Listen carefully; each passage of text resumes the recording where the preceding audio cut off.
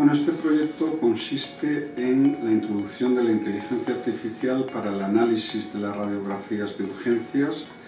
en eh, radiología ósea para detección de fracturas y en radiología de tórax con el fin de detectar eh, varias patologías, condensaciones, neumonías, neumotoras, derrame pleural, nódulos pulmonares y fracturas costales.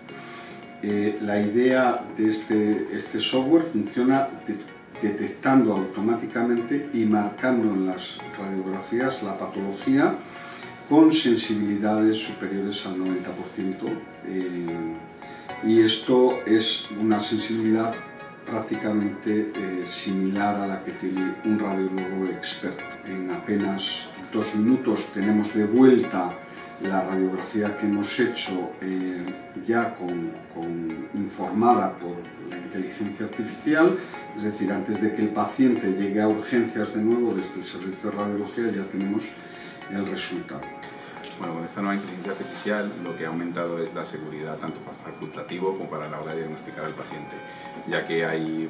ciertas fracturas o, algunas fisuras que no logramos identificar y con esto, en, principalmente en horarios donde no tenemos apoyo de los radiólogos, pues nos da una seguridad eh, y, mucha más eficacia. El, el, médico no le cambia nada, hace la, solicitud igual que la hemos hecho siempre y una vez nos damos cuenta que el paciente ya se le ha hecho la, radiografía, en cuestión de menos de 3-5 minutos tenemos disponible esa lectura por parte de la inteligencia artificial en nuestro sistema. Eh, el caso que tenemos aquí a mi espalda es eh, un traumatismo de muñeca, hacemos las proyecciones habituales eh, en este caso, eh, con el programa eh, actual de inteligencia artificial,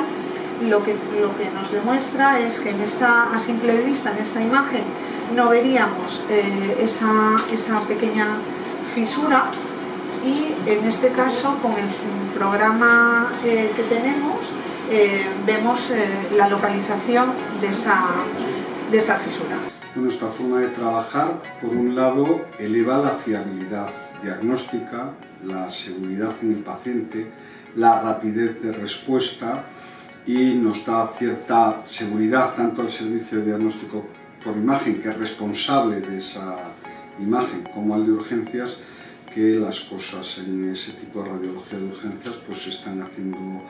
bien y con mucha seguridad para el paciente.